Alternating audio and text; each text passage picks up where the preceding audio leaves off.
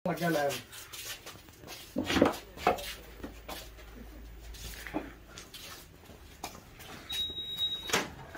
ਭਾਈ ਪਹਿਲਾਂ ਅਸੀਂ ਆਪਦੇ ਤੇ ਐਕਸਪੈਰੀਮੈਂਟ ਕਰਦੇ ਆਂ ਫਿਰ ਫਿਰ ਅਸੀਂ ਕਰਦੇ ਆਂ ਵੀ ਕਿਹੜਾ ਲੱਗਦਾ।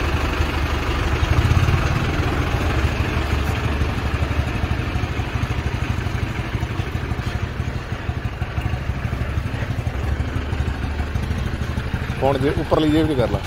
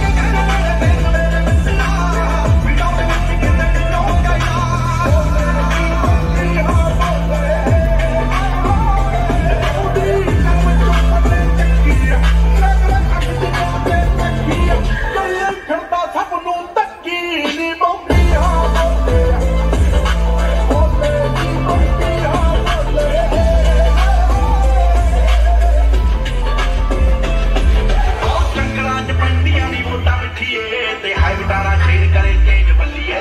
ਟਮਾਟਰ ਤੂੰ ਛੱਡ ਆਈ ਏੜੀ ਉੱਤੇ